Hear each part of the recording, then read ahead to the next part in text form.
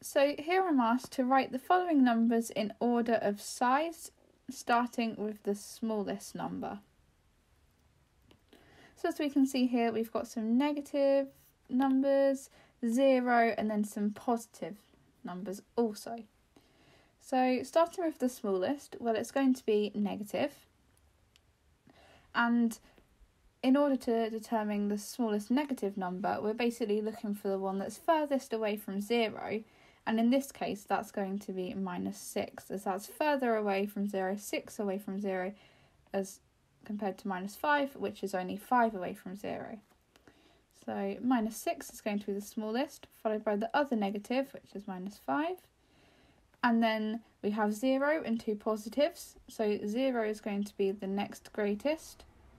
And then looking at the positives we have 12 and 6 and 12 is going to be greater than 6 so in order of size, we're next going to have 6 and we'll follow that with the last one, which is 12. I'm then asked to write the following numbers in order of size again, starting with the smallest number. However, this time we're working with decimals instead.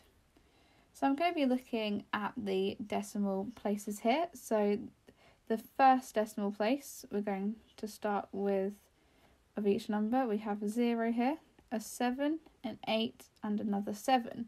So in order to find the smallest number, we're looking for the smallest first decimal place originally, which we have here is going to be this, as the first decimal place is a 0.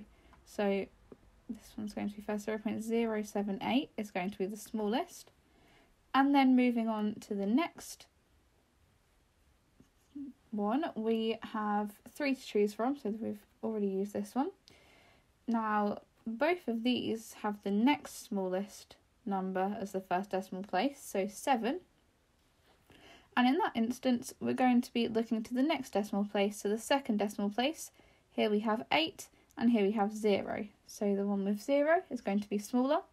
So I can write in 0.708 as the next smallest, followed by 0.78.